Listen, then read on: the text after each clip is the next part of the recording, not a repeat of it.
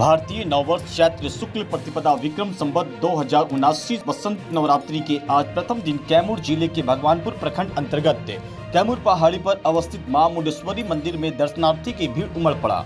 विगत वर्ष कोरोना संक्रमण के कारण मंदिर का पट बंद पड़े रहने से दर्शनार्थी नहीं पहुँच पा रहे थे। लेकिन इस वर्ष दर्शनार्थियों का तांता लगा हुआ है, जिसमें उत्तर प्रदेश, बिहार, झारखंड सहित कई राज्यों से मंदिर आस्था का केंद्र बना हुआ है।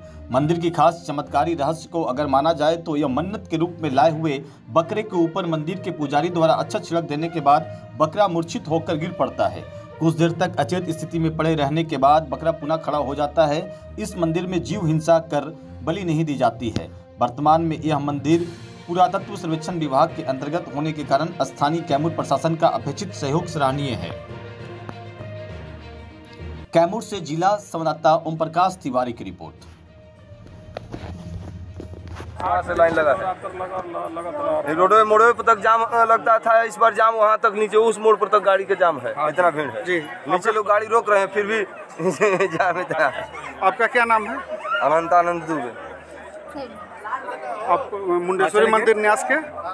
पुरोहित हम लोग हैं। जी आप लोग पुरोहित हैं।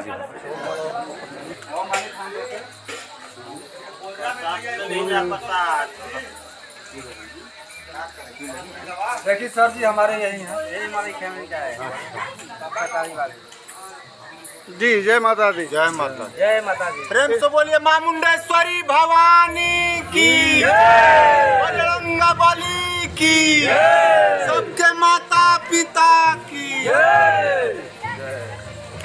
ये जो प्रसाद का कार्य चल रहा है जी, जी। दर्शनार्थियों का जी। ये किसके सदन से चलाया जा रहा है? तो थोड़ा हम सब दोस्त मित्र हैं सोचे कि सेवा दिया जाए तो सब जो भी वॉलेंटियर जुटे हुए हैं सबका सहयोग है।